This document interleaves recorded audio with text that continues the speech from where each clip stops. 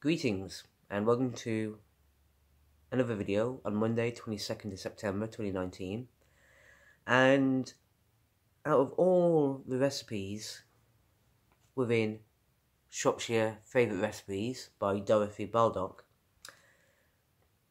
what we're about to discuss at the moment is definitely one of my favourites.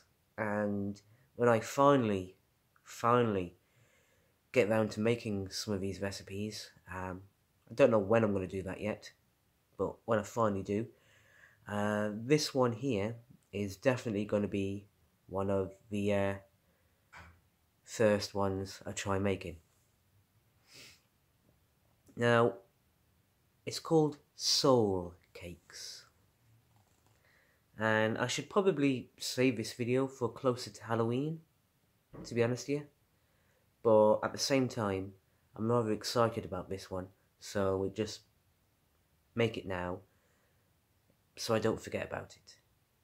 And I'm sure, dear viewer, you will more than likely remind me to make this video, actually, well, to make this recipe first, long before I make anything else. So yeah, remind me to do that. Remind me someone to actually try this recipe before I go on to try any of the others. So yeah soul cakes. I just love the name. Love the name, soul cakes. Anyway,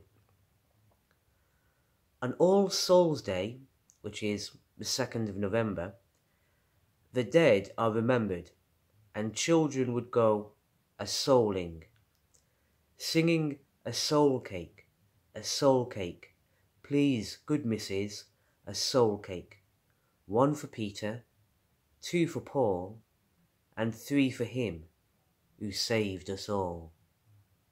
They would, they would receive in return a cake marked with a cross. So that's the story behind soul cakes. I'm sure there's more story to it. It's just that's all I know right now.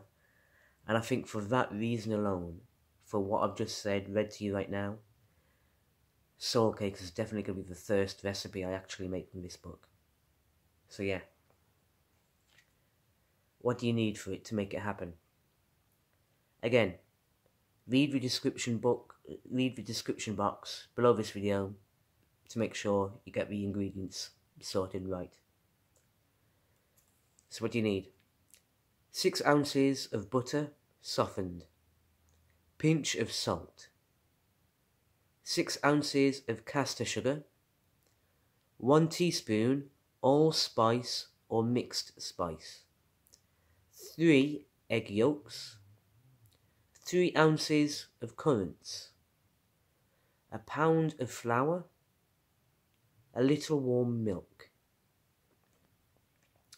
So yes, once you've got your once you've got your ingredients sorted, this is what you do. Set oven to 350 degrees Fahrenheit or Mark 4. Cream the butter and sugar together in a bowl until fluffy, then beat the egg yolks. Sift together the flour, salt and spice and fold into the egg mixture with the currants, adding sufficient milk to form a soft dough. Divide into pieces and form into flat cakes marking each with a cross. Place on a greased baking sheet and bake for 20 minutes or until golden. If desired, a few threads of saffron can be soaked in the warm milk, straining it before use. So yes, tell me, dear viewer, how many of you might have encountered or had soul cakes at any point in your lives? Have you eaten it? Have you tried it? What was it like? Or is this the first time you heard about it? Either way, let me know in the comments below and tell me what you think. So yeah, soul cakes. Soul cakes. And the song goes, a soul cake, a soul cake, Please, good missus, a soul cake. One for Peter, two for Paul, three for him who saved us all. On that note, I'm going to end this video here. And on the 2nd of November, when that happens, I hope everyone has a fantastic All Souls Day.